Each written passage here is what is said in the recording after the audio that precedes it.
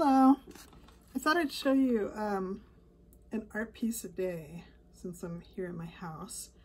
Um, I'm a photographer, so my studio is partly out there. I'm pointing to my win to my windows to the world. My studio is partly out there, and my studio is also partly my whole house. I um, used to have a desktop I work on, but it's too old, Mac. Um, and now I have a laptop I work on, so I can just really work anywhere. Oh, and I just came in from outside, so I got my got my COVID-19. Um, anyway, these are my some of my art books, but um, this is a piece.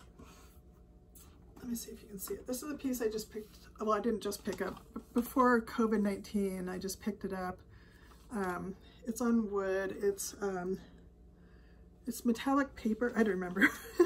it's metallic paper um, with a mat, and then this is wood. Um, it's got the hanging wire in the back, so you can just actually hold it up like this. Um, what it is, is um, I used to work in Al Alameda, California, which is, if you're not from here, it's a little island. O o Oakland is on one side, and then there's two bridges that connect it to Alameda, California. And um, I would walk, you know, during my lunch break, I'd walk up and down the streets, and this, this is actually two photos.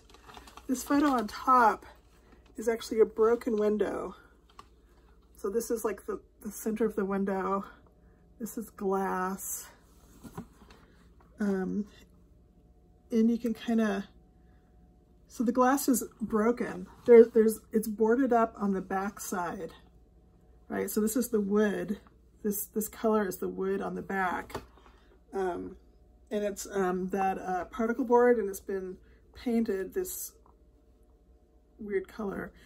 And then somebody went on top and spray painted on top of it. So I, I was drawn to it because partly I love layers, but also the because they spray painted it, part of it was on the glass and part of it was on the wood. And I thought that was just kind of cool. And, um, you know, on some days, like the shadows would also be there too. Um, can't really see it in this piece, but I just love the effects of the wood, you know, the wood is painted two different colors in two different places with the graffiti and the glass and the wood.